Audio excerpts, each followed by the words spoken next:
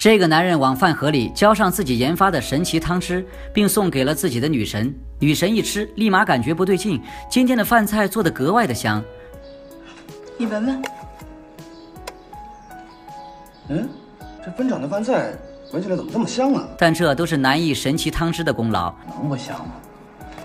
火腿、干贝，差点要了我命才凑齐这点东西。别说那个年代，想弄到这些稀罕物，还真不是什么容易事儿。从梁拉蒂家就能看出，一根油条还得分成四份吃。孩子们也都知道母亲的不容易，特意留下了一大碗米汤给母亲喝。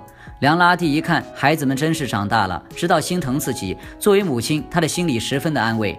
孩子们有这份心就够了。妈也吃不了这么多，你们一人替妈吃一口啊！来，来来来，妈，要不不吃生日饭，不愁四道菜了。妈就是豁出命。也给你弄这四个热菜，给你过生日啊！不过现在最要命的还是小女儿的生日饭。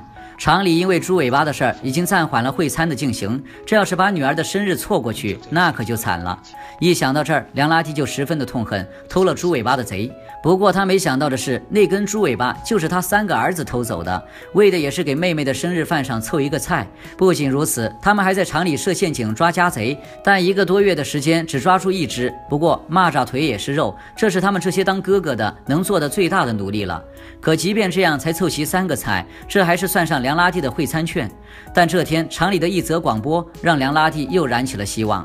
鉴于猪尾巴事件没有破案，会餐活动没法进行，厂里决定对提供破案线索的同志给予物资奖励，奖励餐券两张。师傅，两张餐券。而且梁拉蒂断定这根猪尾巴肯定是被南艺偷的。